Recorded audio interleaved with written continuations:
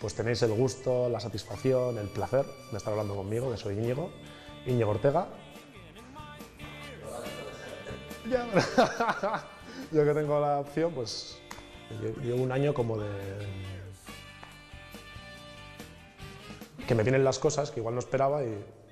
¿Por qué no, no? Y pruebas y de repente, uy, esto eh, me provoca un cambio en mí. Me siento muy vivo, sobre todo este año, el, tanto cambio, tanta... La, rutina y, un dinamismo así como muy monótono, al final es como, llega un momento que, uy, esto y por alguna, no solo decidirlo yo además, ¿eh? hay alguna razón que hace clac y me, me, surge algo en la vida. ¿eh? En mi caso yo quería ser bombero, desde, desde, así, ¿eh? ¿cómo te pega ser bombero? No sé si por la estatura o por siempre he hecho deporte y así. Bueno, yo considero un poco rebelde aquel que es como muy echado para adelante y es un, tiene un, un poco ese rol de líder, ¿no? A veces sí que mm, siento, me siento líder porque me han hecho, de eso que estás en un grupo, surge alguna mm, una decisión que tomar y es como nadie la toma, pues hay que tomarla, ¿no? Y porque crees que es la buena, eh, a mí me gusta mucho improvisar, ¿no? Entonces, en, en, las improvisaciones son todo propuestas, ¿no?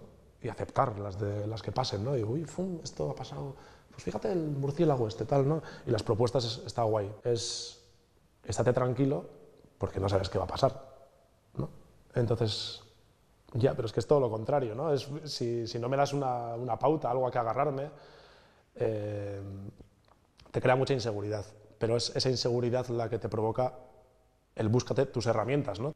La capacidad de, de saber qué me, qué me, está pasando y ahora quiero que me den y enriquecerme y, y, mira qué guay todo lo que me viene y decidir, ¿no? Uy, esto no, esto, uy, pero esto sí, esto lo guardo y tal. O incluso cuando tienes la borrachera mental también, vale, ¿vale? Porque no soy capaz de, de más. Pero sí, esponja me gusta ser. de cuestionarme las cosas, igual. Cada vez lo hago menos.